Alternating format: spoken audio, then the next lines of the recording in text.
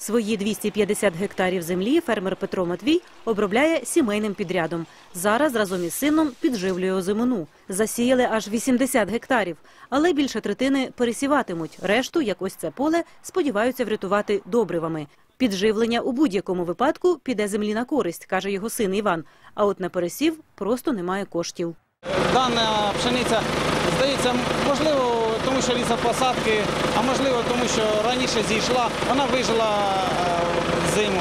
А все, що на наступних полях, е, вона тільки поключилася і не змогла зійти.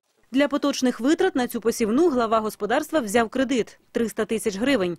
250 дав банк, ще 50 позичили постачальники добрив та засобів боротьби зі шкідниками. Під заставу віддав новенький комбайн. Тільки минулоріч розрахувався із зобов'язаннями по ньому. А от відсотки за трактор сплачує й досі. Тож фермеру доводиться економити. Давайте рахувати. Насіння тисячу, е, добрива е, 200 кг по 400, це е, також тисячу. Так? Е, Пальне, е, пальне е, зарплата, е, амортизація, ще ну, тисячі три.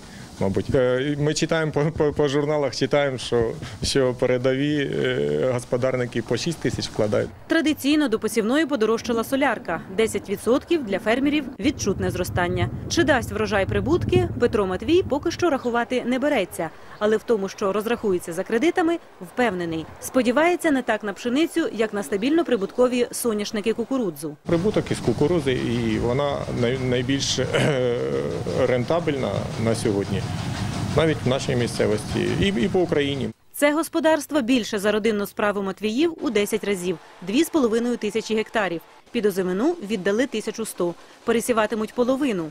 Посіви озимої пшениці загинули на 20%, а ріпаку та ячменю – на всі 100.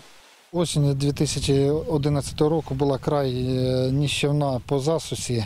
Е, Ми сіяли озимий ячмінь і озиму пшеницю повністю в суху землю, а пе- перша волога з'явилася на початку грудня. Взимку були сильні морози, вони його добили. Кредит на посівні роботи у цьому господарстві – півтора мільйони гривень. До посівної під відсотки взяли новий трактор за мільйон триста тисяч та продовжують викуповувати культиватор. Треба сплатити ще 250 тисяч гривень. Про прибутки наразі тільки мріють, адже умови для посіву зараз також залишають бажати кращого. Бракує дощів, тож надія на тваринництво. Думати, що нас спасе там соняшник чи кукуруза, поки ми не можемо. Е, Ті кредити півтора мільйона, які ми взяли на обігові кошти для того, щоб нормально ці- провести посівну кампанію, ми банкам звичайно віддамо, бо в нас є свині, свині є в нас м'ясна худоба. Е, Ну, зменшимо поголів'я. Цьогорічна посівна досить помітно вдарила по кишенях дніпропетровських аграріїв, але й у неврожайних років в Україні є й позитивна складова. Ціни на вирощене зерно під осінь, як правило, зростають.